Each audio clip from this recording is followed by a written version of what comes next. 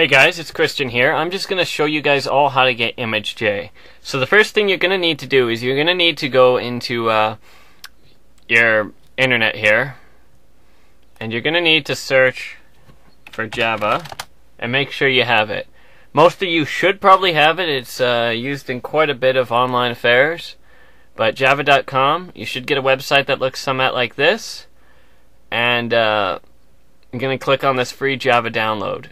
Now, I have actually already downloaded this and prepped everything, but this is the button you're going to click here, agree and start free download, and it should have a subtext download free Java software.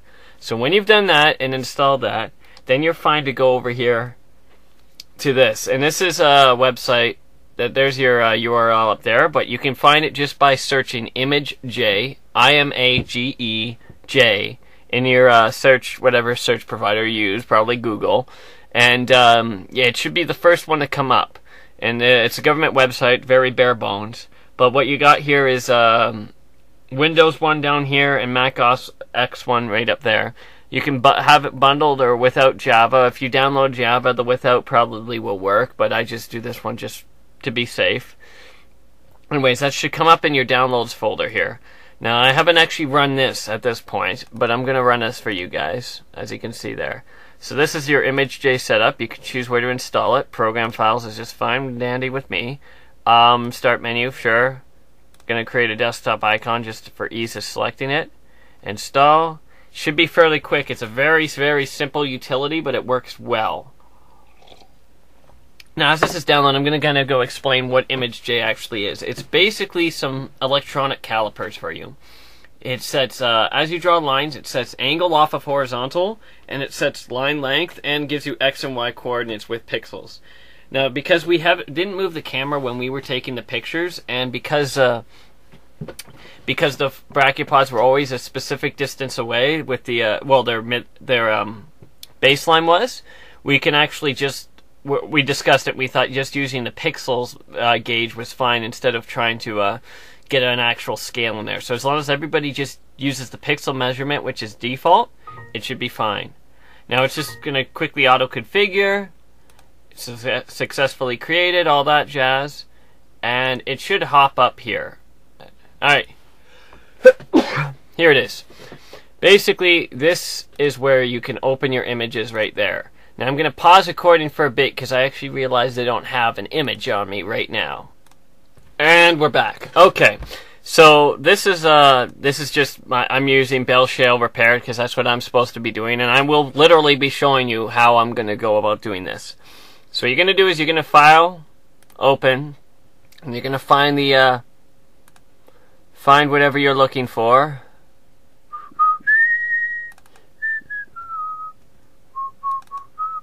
Alright. You're going to find it there. It's going to load up. Bam! There we go. And you can see our beautiful brack right here. Now, what you're going to do is there's a, up here, there's a whole bunch of options of stuff to do, but you're just going to select uh, line. Now, if you double click, you bring up a width option. If you right click, you bring up that option. So th that's the arrow option. So just so you guys know how to use this, alright? Select the baseline here. Alright, like so.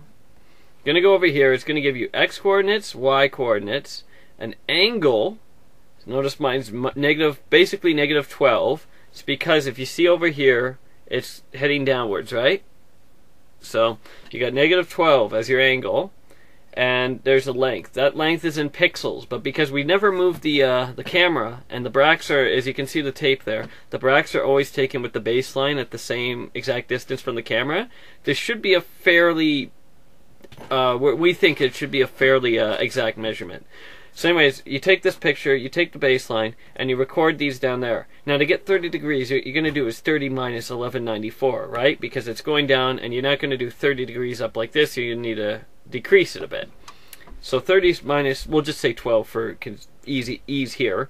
30 minus 12 gives us 18.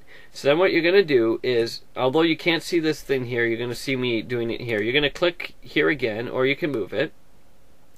And you're going to move this trying to find 18 on the angle.